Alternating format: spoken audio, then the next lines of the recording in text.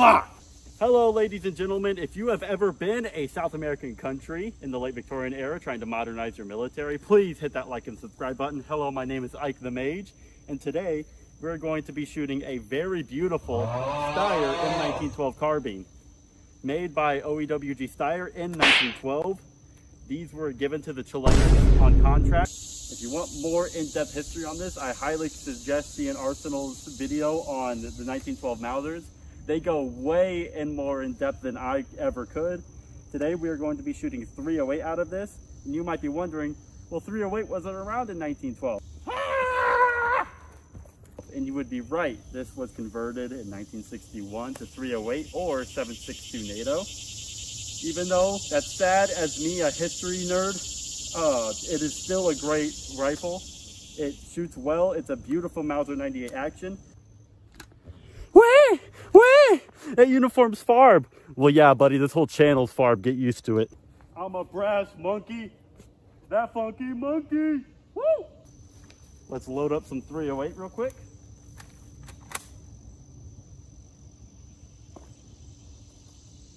Oh, God, it's so good.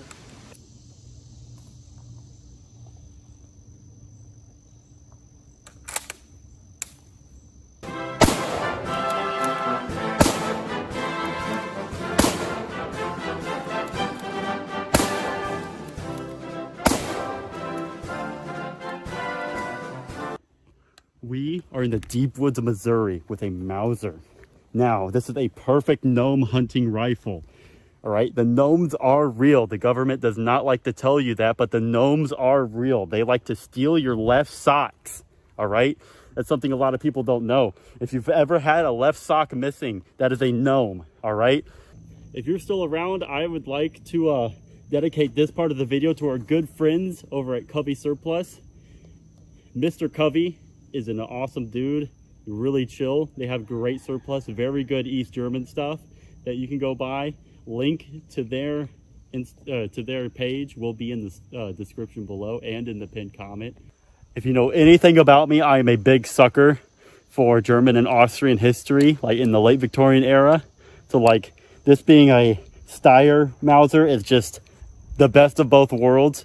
Now to give you a little bit of more detailed look at the rifle, I am going to send y'all to Ike the Mage in the gun closet. He's not very funny. He likes technical stuff. Stuff like how a gun works. I'm a, I'm a brass monkey. I'm a goober for YouTube. I like to shoot guns and make memes.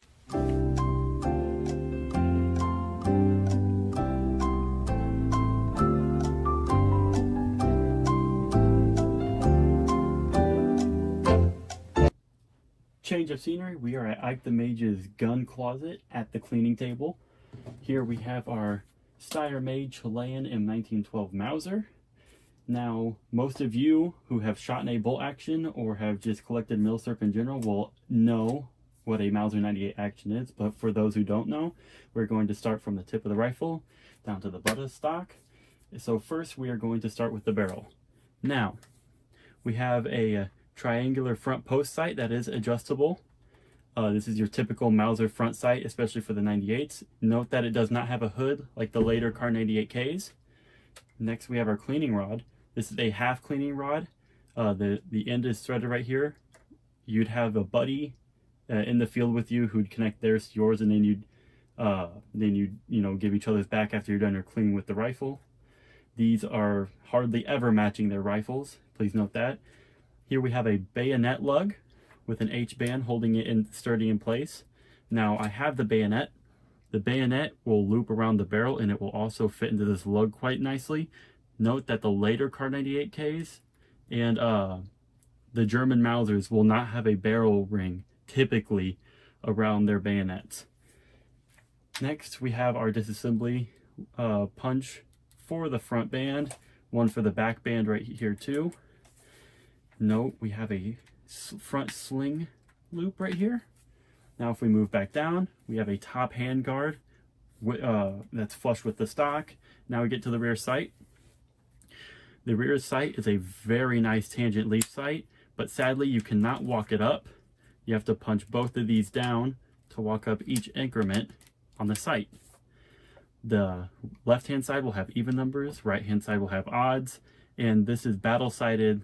Its starting zero is at 300 meters. So each click is 100 more meters. So 400, 500, 600, etc. all the way out to 2,000 meters. Note we have a screw here. If we were to disassemble this rifle fully, this screw would take the top handguard off after taking the two bands off. Now we work our way down to the receiver.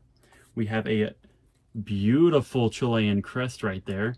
It is hard to see exactly on camera, but this is a beautiful Chilean crest.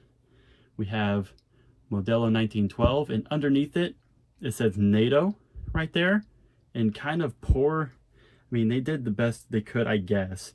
This is kind of poor etch work. This is to denote that it is in 308 or 762 by 51 NATO. Now we get to the side, we have the manufacturer stamp right here. We have Waffenfabrik Steyr Austria, denoting that this was made in Steyr when Austria-Hungary was still a country. Now we have several little unit markings and everything. Now do note that a lot of these will have uh, a lot of these parts will have stamped 61 on them. That is to denote that this was the conversion in 1961 to make it 308. Now we get to the trigger. Note that we have a belt loop right there. That is a rear belt loop and we'll have one further down the stock. But we are working with a very nice trigger right here, two-stage trigger. We flip the stock over. We have the magazine plate right here and then disassembly screws right here. Now we get to the rear of the stock close. We have our last sling loop so you can have it either at the front of the trigger guard or the rear of the stock. Now we turn the stock over. We have a semi pistol grip right here, which is very nice. Gives you a good grip on the rifle. Then we have a typical Mauser style buttstock right here with a metal backplate. Note that the metal backplate is really worn because this rifle was probably used in hundreds of drills. Now on the basic uh, field stripping, so how a Mauser 98 typically works. You unlock the bolt right here, bring it back, push it forward. A lot of Mausers have a last round catch in the mag that will stop you from pushing it forward. This one does not have that clearly. I can manipulate the bolt at will. Now do note that the bolt is working on a two lug in the front, or it's working on two lugs in the front, one in the rear.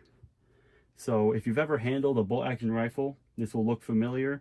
A lot of modern and uh, even in this time period, a lot of bolt actions were derived from the Mauser 98 system. So I'm going to lock the bolt. We're going to work our way to the bolt release right here. So if I, if I were to have the bolt all the way back, push this out, I could take the bolt out, but that's a two-handed operation. We're going to wait till we disassemble that. So here's the firing pin right here. This is going to tell you if the rifle's ready to fire or not. When I pull the trigger, this will depress and you can see that it's fired if the firing pin has gone forward. Now to reset the firing pin, all you have to do is unlock the bolt and it is back in place. Now we're on to the safety. When the safety lever is all the way to the left, that means it's ready to fire. If I put the safety in the middle, this is your disassembly safety. I cannot pull the trigger, see how the firing pin won't go forward, but I can manipulate the bolt at will and that will come handy later.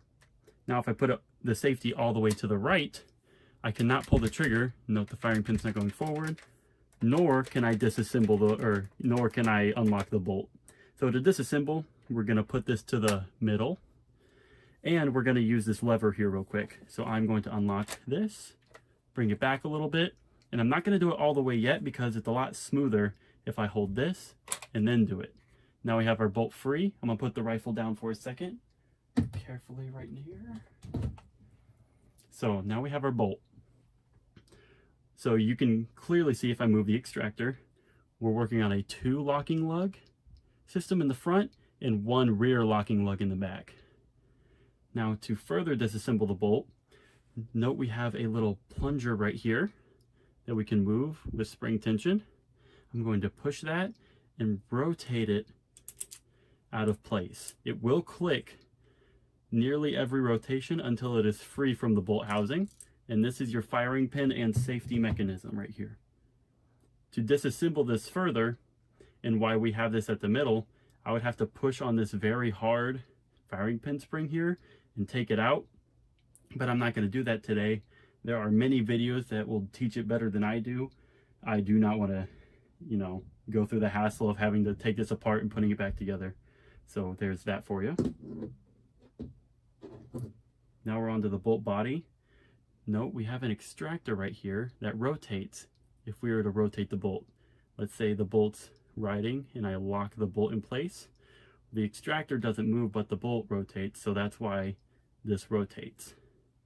It is running along a little trench right here and you can see on the bolt body there's a piece that's rotating to hold it in place. Now we're going to take this off real quick. So I'm going to run it along its furthest right position and we're going to gently push on this big part of the long extractor right here. We're going to gently push on that. It's going to lift it out of the trench. We're going to rotate it a little more. Then we are going to carefully push it out. And that is our extractor. Now we have our bolt body right here. Fairly simple construction. I will grab the other bolt body I have.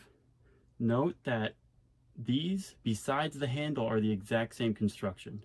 The only difference between these two is that this one's bolt handle is straight and this one is turned 90. We're going to go to the magazine disassembly right here.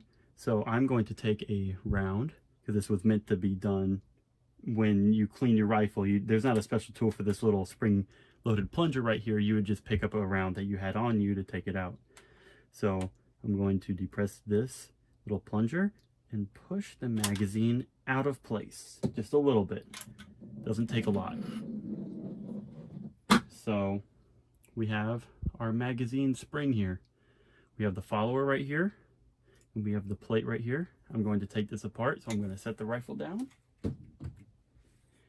Here we have the magazine spring. I'm going to uh, just align this out of place real quick. Very simple. And then same with this. And here's our pretty ingenious magazine spring for an internal mag. As you see, when I depress it, it lays almost completely flat. So that's pretty ingenious by Mauser right there. Note that these are identical inside, so you don't have to worry about mix matching them when you reassemble it. So like so, I'm going to push this into place until it clicks. There we go. And then I'm going to, along these grooves, do the exact same thing for this one. This one doesn't really click so much, but let's take a look at our follower real quick. So a lot of Mausers will have this, see how that's like grounded off at a 45 degree angle right there? A lot of Mausers don't have that. So when you're out of ammo, the bolt like will not go forward, uh, letting you know that it's out of ammo. Mine does not do that. Um, mine just allows the bolt to go forward. So I guess you're supposed to count your rounds, however many you're firing them. Note that pretty cool heat treatment right there. I'm not sure if that's a mistake or not, but it still gives drip to the rifle. And last but not least, we have our bayonet. Uh, note this is a reproduction frog. This is not an original, but the sheath and the bayonet are original. Sadly, they're not matching. So I'm going to take this off. We're going to look at a couple of things on the bayonet right here. Like I was talking about earlier, this has the barrel loop right here. And if we look at the markings at the bayonet, we have OEWG that is the what is the official name of the Steyr factory when Austria-Hungary was still around. So that does tell us that this is from Steyr. If I turn it around, you have a, I'm going to flip the bayonet around so you can see it easier. You have a simplified version of the Chilean crest right there. Kind of see that right there. So I'll grab the, I'll grab the rifle so you can see the crest again. But between the hawk and the deer, if the camera would focus. Maybe. Come on. There, there we go a little bit. You can kind of see between the hawk and the deer, that simplified Chilean crest that is on the bayonet. So, pretty standard bayonet. Um, we do note that this, we have the bayonet release button right here to depress it from the locking piece, and I will show you how to put it on the rifle. So here's our rifle. We want to be looking at this part of the rifle. We have our bayonet lugs right here. The bayonet has a hole at the grip, and that is important because when lining up the bayonet, you want to put the cleaning rod in the hole like that. And now you can see how the guide rods from the bottom of the bayonet are going into the lugs right here. You don't have to press the button when putting it on. And we want to line up, it wiggles a little bit, so we want to line up our uh, barrel loop to go perfect right there. And you'll hear it click. And it's on there pretty tight. Like this is not going anywhere.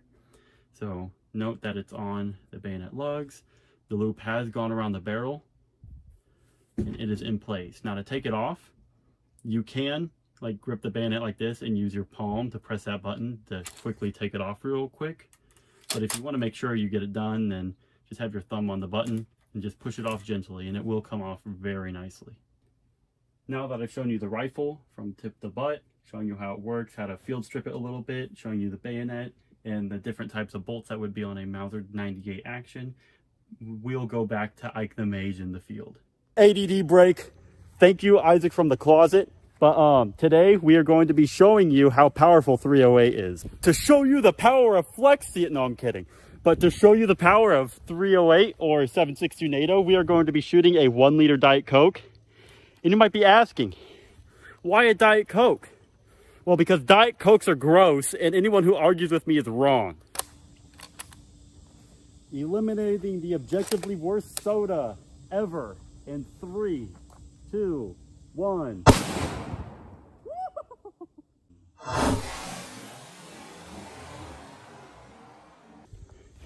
That came right back at me, but uh, let's assess the damage right here. So, it is absolutely eviscerated. It looks like, looks like there's our entry right there. And as soon as it evaporated the Diet Coke in here, it keyholed straight down into the wood. That is crazy. Look at that. That is nuts. I don't see an impact on the wood per se. I'm willing to bet the bullet just keyholed straight down. Dang, that's crazy.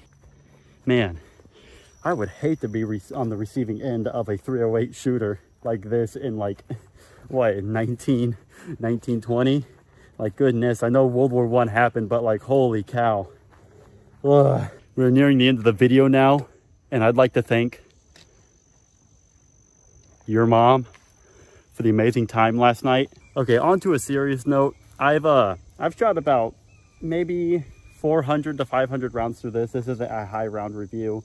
I know for a fact that this has had more rounds in it than I can count. And it, honestly, this has been a great rifle. I've never had an issue with it. Um, it's been smooth. It's really pretty. I really love the dark wood on it. It's just a late Victorian era vibe. And anyone who says this is not drip, get out. We don't want you here. I'm, I'm kidding. We love your views. Looks like that's going to be it, folks. If you enjoyed and thought this was funny and also learned a little bit of Mauser history, please like and subscribe to Ike the Mage. And please go check out friends of the channel Covey Surplus. Link in the description. Thank y'all.